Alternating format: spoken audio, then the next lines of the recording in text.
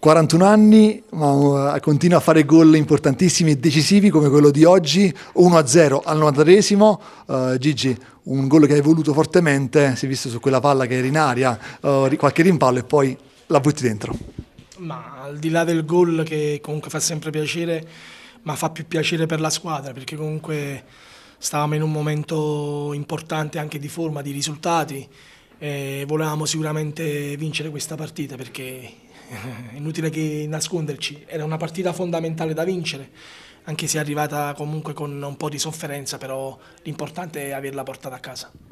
Settimana scorsa a Cassino sei andato vicino al gol, però un salvataggio sulla linea ti ha, ti ha negato uh, l'euforia, invece questa volta è andata meglio.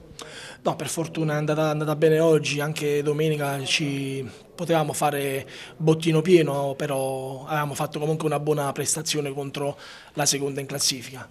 eh, merito del gruppo perché veramente non sta, non sta mollando un attimo, è una squadra che si allena veramente a mille tutta la settimana e quindi adesso stiamo raccogliendo i frutti sperati. Nel primo tempo le occasioni migliori per il Gladiator, poi al secondo tempo si è visto un buon ansio, però comunque il, poi la forza, l'orgoglio e anche lo spirito del Gladiatore per vincere questa partita. Primo tempo sicuramente abbiamo fatto meglio rispetto al secondo tempo, abbiamo avuto qualche palla gol però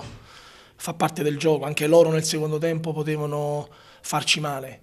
Eh, però va merito a questo gruppo di, di, non mollare mai perché noi eravamo convinti che anche fino alla fine potevamo sboccarla e così è stato per fortuna.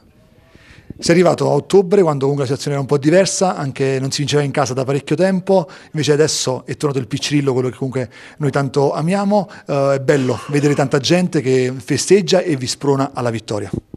Ma guarda, il merito è anche dei tifosi perché anche oggi ci hanno trascinato e quindi fa, fa piacere. Se siamo uniti possiamo, possiamo, essere veramente una squadra che può far male a tutti. Lo stiamo dimostrando, però adesso mancano ancora sei partite e sicuramente da domani già dobbiamo pensare a giovedì perché il cammino è ancora, ancora lungo, però ripartire da, da questa fame, da questa voglia di vittoria.